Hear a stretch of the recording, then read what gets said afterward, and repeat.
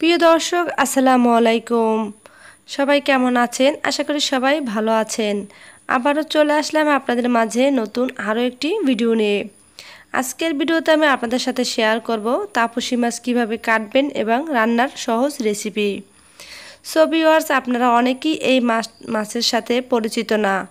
আমি মনে করি যে অনেকে এই মাছটা আপনারা চিনেন না, কারণ যাদের এলাকায় নদী নেই, তারা এই মাছটা না চেনার কথা।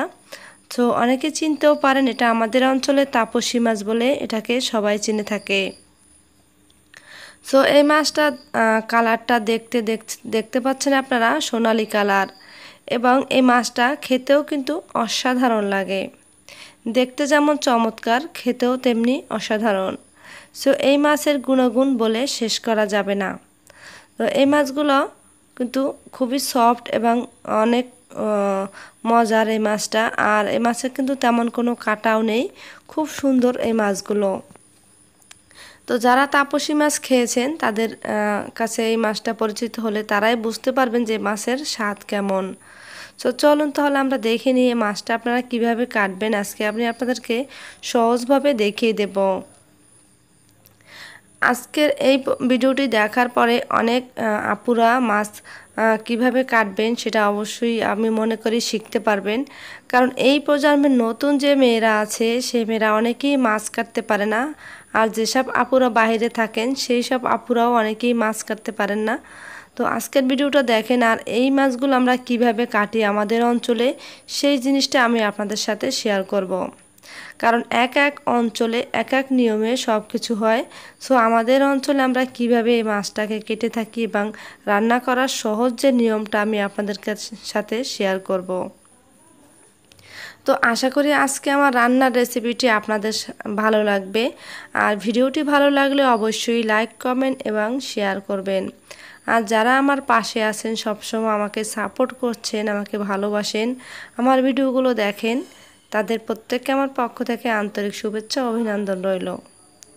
তো আজকে ভিডিওতে আমি দেখাবো যে মাছগুলো আমি কীভাবে কেটে থাকি বাসায়। তো প্রথমে আমার মাছের উপরের আঁশগুলো ফেলে দিলাম।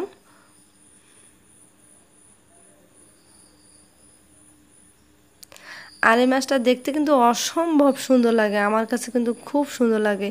কারণ সোনালি কালার এই মাছগুলো দেখতে খুব সুন্দর লাগে। আর এই মাছগুলো কিন্তু আমরা একদম বাসায় বসেই কিনতে পারি। কারণ হচ্ছে আমাদের পাশেই নদী, আমরা এখান থেকে নদীর সব মাছ খেতে পারি। আর সেজন্য আমাদের কিন্তু বাজারে এবং হাটে যেতে হয় না। মাছ কিনতে। আমরা কিন্তু এগুলো বাসায় বসেই কিনতে পারি। কারণ যেসব জেলেরা আমাদের বাসার পাশে আছে, সেই সব জেলেরা কিন্তু আমাদের বাসায় বাসায় এগুলো নিয়ে আসে। তো দেখুন, আপনারা আমি মাছটা কীভাবে কাটলাম। আমি প্রথমে আঁশগুলো ফেলে দিয়ে ফুলকার দিয়ে আমি টান দিয়ে মাছের পেটিটা বের করে নিলাম। আমি কিন্তু মাছের পেটির ওখান থেকে আলাদাভাবে মাছটাকে কাটলাম না আর। তো এভাবে মাছের ফুলকার সাহায্যে পেটি বের করলে কিন্তু মাছের ডিমগুলো একদম ভিতরে আস্ত থাকবে, কাটবে না। তো আপনারা ট্রাই করবেন এভাবে কাটার।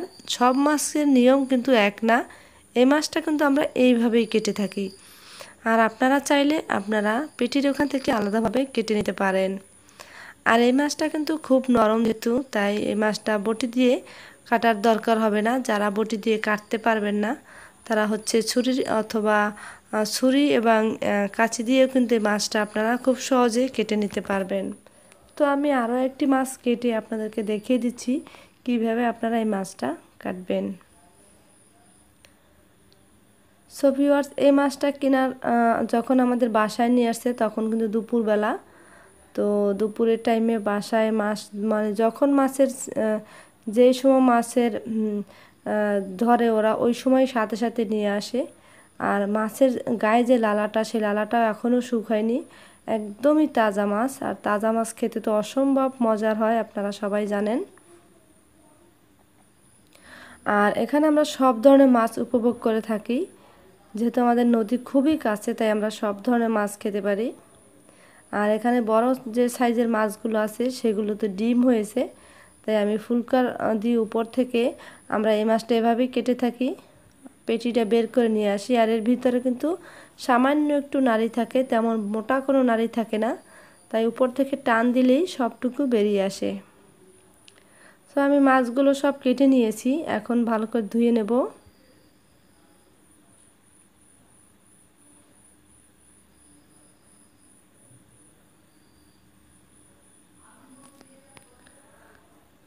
তো মাছগুলো আমার ধোয়া হয়ে গেছে, একটু সাজিয়ে আপনাদেরকে দেখিয়ে দিলাম। তো আবারও ভালো করে ধুয়ে তারপরে রান্না বসিয়ে দেবো। তো চলুন এখন আমরা দেখে নিই যে আমি কীভাবে মাছটা রান্না করি আর আপনারা সহজভাবে কীভাবে মাছটা রান্না করবেন। ডিটেলস আমি আপনাদেরকে বলে দেব। তো আমি এখানে একটা কড়াইতে তেল দিয়ে নিয়েছি আর কিছু পেঁয়াজ কুচি করে করে নিয়েছি। আমি এখানে হাফ কাপের মতো পেঁয়াজ কুচি করে নিয়েছি। আর আমি একটু মাছের ভিতরে পেঁয়াজ বেশি খেতে পছন্দ করি। আপনারা চাইলে বাড়িয়ে কমিয়ে নিতে পারবেন। তো আমি এখানে এখন পানি দিয়ে নিলাম, পেঁয়াজটা যাতে পুড়ে না যায়। তারপর আমি বাকি উপকরণগুলো দিয়ে দেব। তো এখানে আমি রসুন বাটা নিয়ে নেব এক চা চামচ। আর এখানে আমি পেঁয়াজ আলাদা করে বেটে নিয়েছি যাতে আমার তরকারি, মাছের তরকারি ঝোলটা ঘন হয়। সেজন্য আমি দুই টেবিল চামচ পরিমাণ পেঁয়াজ বেটে নিয়েছি। কারণ এখানে আমি দুই রকমের পেঁয়াজ দিয়ে দিয়েছি। একটা ভাজি করে দিয়েছি যাতে ফ্লেভারটা খুব সুন্দর আসে। মাছের আলাদা একটা, আপনারা সবাই জানেন যে পেঁয়াজ যখনই একটু ভাজি করে দেওয়া হয়, সেক্ষেত্রে আলাদা একটা ফ্লেভার আসে। সেটা তো আসলে অতুলনীয়।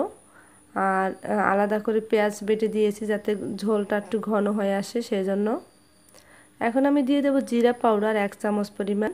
আর আমি সবসময় জিরা পাউডার খাই কেন সেটা আপনাদের সাথে একবার ভিডিওতে আমি দেখিয়েছি যে আমি জিরা সবসময় ব্লেন্ড করে তারপরে অনেক দিন সংরক্ষণ করে তারপরে খাই। আমি শিলপাটা অথবা যে কোনো মাধ্যমে আমি জিরা পাউডারটা বাটাবাটি করি না। তা আমি আস্ত জিরাটা ভালো করে রোদে শুকিয়ে কীভাবে আমি জিরা পাউডার করি সেই ভিডিওটাও আছে, আপনারা চাইলে সেটাও দেখে আসতে পারেন। আমার চ্যানেলে সেই ভিডিওটা দেওয়া আছে, আপনারা চাইলে দেখে আসতে পারেন। তো আমি এখানে এক চামচ পরিমাণ মরিচ পাউডার দিয়ে দিচ্ছি, আবার হাফ চামচ পরিমাণ দিয়ে দিচ্ছি হলুদ পাউডার তো সব কিছু দিয়ে আমি ভালো করে মশলাটাকে কষিয়ে নিচ্ছি। কারণ মশলাটা যত কষানো ভালো হবে, আপনার তরকারিতে স্বাদ ততটাই বেশি হবে।